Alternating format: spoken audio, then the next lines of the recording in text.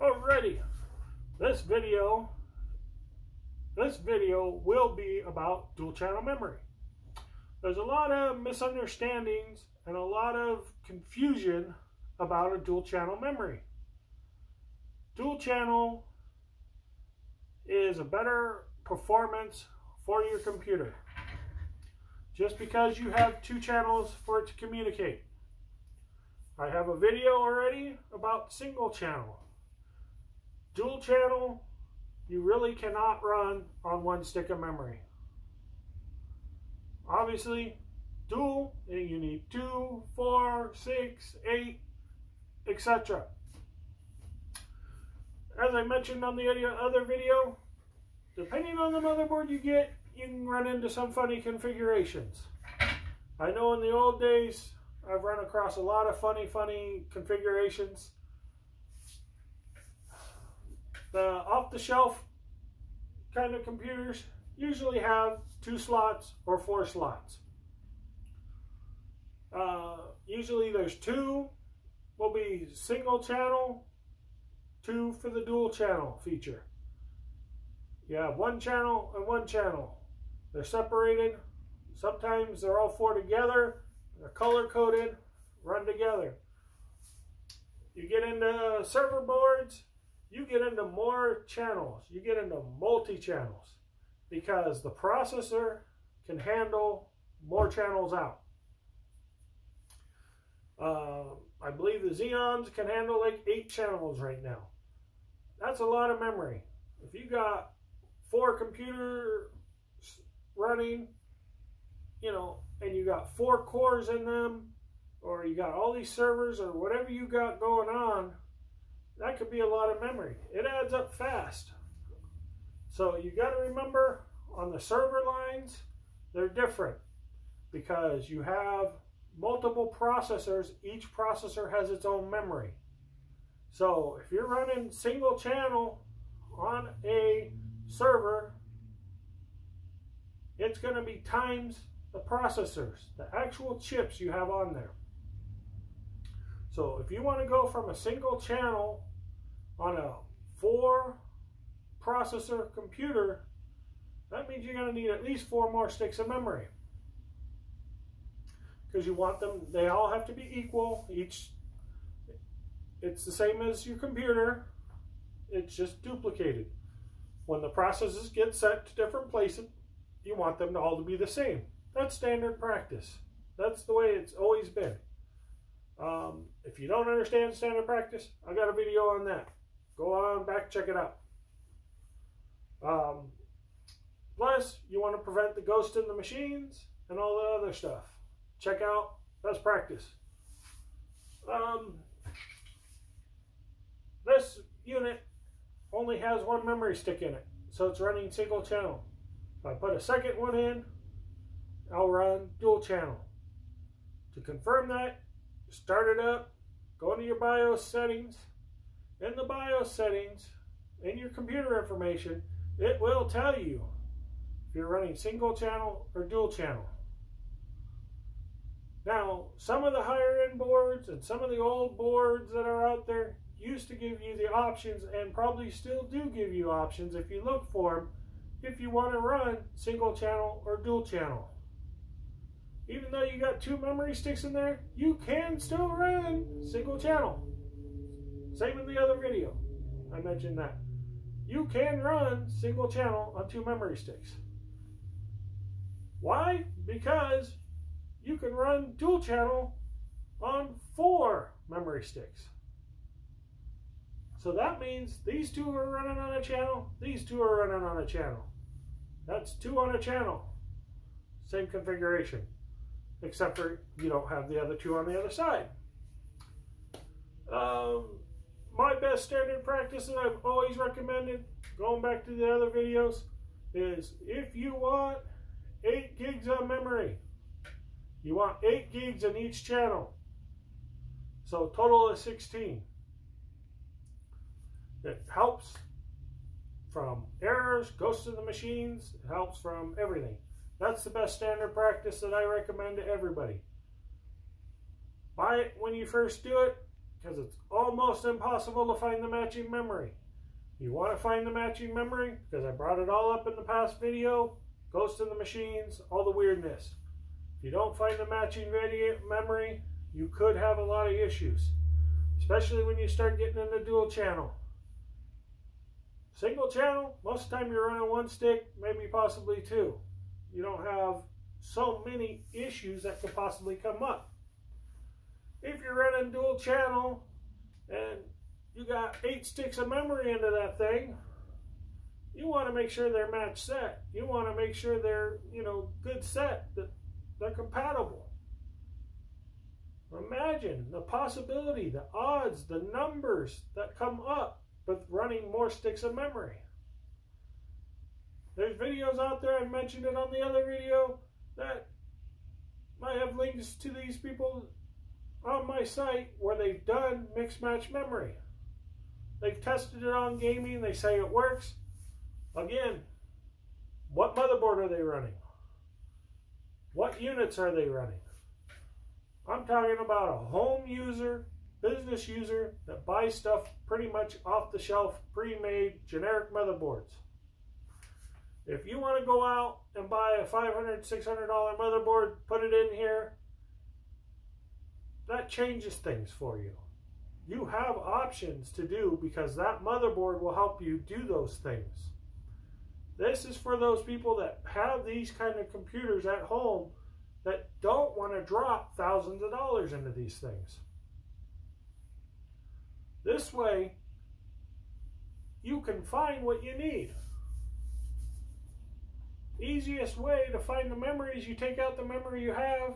I have a video on that too, about installing the memory. Take a picture of it. Get all the information. Look up that memory. If you can't find that memory, go on the compatibility list.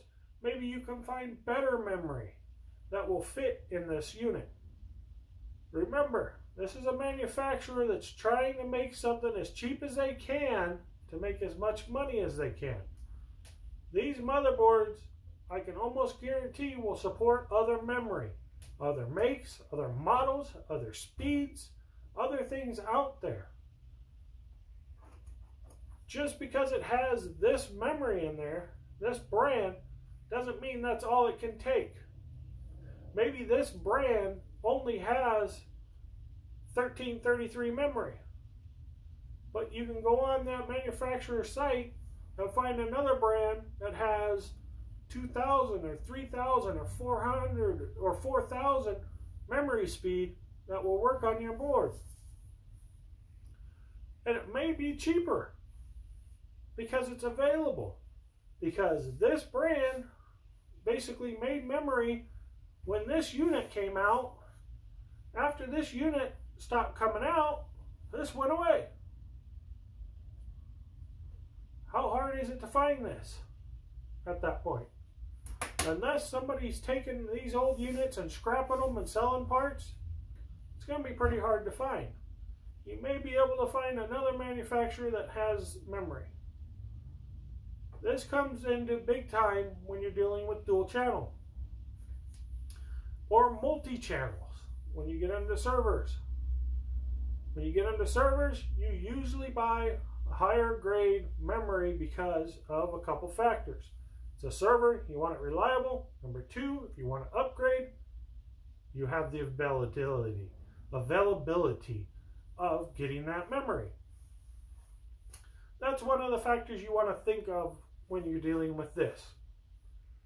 If you decide to go to dual channel, and for some weird reason you don't follow my advice of buying all the memory at one time that you want, and you buy two sticks and you have four slots, and you buy two 8 gigs or even two 4 gigs, because you really don't need a whole lot of memory, and you're not following my advice when I say buy what you need, split them equally, 8 and 8, and you want 8, so you buy 4 and 4, and then you decide, you know what, he keeps telling me that. Let me go back and buy two more sticks of memory because I have two more slots. You're fine doing that. You could split the two memory sticks on the channel into four and four because each channel will work together. Usually, I don't recommend it, but you can do it. I would recommend you use 888 and 8. Overkill it. Make sure you got what you need. Because two years from now, when you decide to put other software in, go to the new OS or whatever you want to do, you might not be able to find what you had. Because you may be running DDR2, DDR3, and they're on DDR8. No longer manufacturing that older memory. Uh, even though it's a well-branded, well-known thing, the technology's moving. Technology's moving. I don't want you to be at a point where you want, oh, now I gotta buy a new computer. So that's where these best standard practices come in. It's to help you out, business environment, home environment, that, you know, even if you have to, in two months, you buy two sticks of memory and you know the manufacturer and you know who you bought it from, and two months later you have the money, you buy the other two, put them in, that's great. Load it up, make sure you're there. Because that's good because that means this will last you. The last thing you want to do is keep putting money in, money, money, money in, and all of a sudden you can't use it. Um, same like with networking. Things come out of date. You got to advance.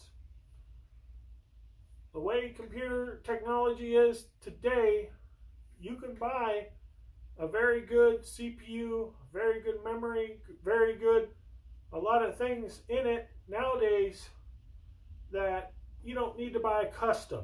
You can buy an off-the-shelf i9, i7, AMD, that, you know, multi-cores and lots of memory and all kinds of bells and whistles in it. But I just want to press, there is a difference between single channel, dual channel, you can run single channel with two memory sticks. You can run dual channel with two memory sticks. It's position and setting. Um, I think that covers most of dual. Only issue I have with single and dual is I cannot do a solid benchmark on benefits, on how it better performs because the motherboards, even though you can use the exact same motherboards, you're changing settings. You're changing memory positions. You're changing things. It's going to be, it, it's too difficult to get an accurate test. If you have two boards that are designed pretty much identical, one with two and one with four, or even on the same motherboard using the different slots, it, it, it's a hard test. I cannot give you a solid, like you're going to get a 50% boost, you're going to get a 25% boost. So a lot of us will tell you this is the best standard practice. This is the best thing to do because in the long run, this will help you. Depends on software, depends on your OS. It just depends on a lot of factors. Um, there's a lot of other people out there that have done gaming benchmarks on it so that you can see pixel rate and a lot of other factors, refresh rate, um, all on there about that, that what tells you that dual channel runs better. It'll run better, you get better results. But that's in a gaming world. That's not you at home trying to do your taxes, you at home on Facebook, you you at home doing other things. Of course, more memory is going to help you in the real world. Go online, you do stuff, that memory is used. The more memory will help you. The faster memory will help you. Um, going to a solid state drive will help you. These are things that will help you better perform. Um, I think that's about all I want to cover in this. I will probably end up doing another video on multi stuff. That would basically be Xeons and, and the higher end business performance. Um, that'll be further down the line. But for this part of memory, I think I've covered everything. I've got lots of videos out there. Go ahead and hit the subscribe. Go check out all the other videos. I've covered a lot of details and a lot of videos. I wanted to make sure that I separated single channel and dual channel so that at home, even if you're new, you're getting into gaming, getting into business, you're a home user, now doing business stuff, you understand the differences. Maybe you're trying to do your Zoom meetings and you're having issues because you don't have enough memory. There's factors you can do. You can upgrade, you can totally change out your memory. You can, if you have four slots, you can fill four slots. If you have one stick of memory in there, go to the four slots, go to dual channel, two sticks in each. These are factors, these are terms you need to know now with all of this that's going on around us that a lot of people don't know. They just go out and buy a computer. Oh, this has so much memory, this has this, this has that. But, like I said, if you really look at some of these manufacturers, they are not following best standard practice. They are giving you 12 gigs of memory in two slots. They're not matched memory. They're not match sized. You're going to have issues. They'll tell you it's fine, it's great, you know, you can do this, but it's not standard practice. Why wouldn't they just give you 16? As you being the shopper, as you buying these things, I want to educate you so that you don't have issues because the manufacturer is telling you it's okay but it's against standard practice. If you go out and you really look and you really look around and you go into a lot of these customized features, a lot of them won't let you choose 12 gigs. So this is one of the points that really got me upset over these last few years that really drove me into doing these videos to help you guys out is yeah they tell you it's okay but it's not a it's against standard practices. And this is where I want the home users to know because most IT professionals and most people that have been around for a long time know this. You at home don't understand this. You don't understand this. You know, you may be buying a computer for the first time and you're in your 80s or 70s or 60s because now you need it to go to the doctor to see your doctor. You know, these are things I want to make sure that you're aware of, that you understand, and basically you're not getting ripped off and you're not being cheated.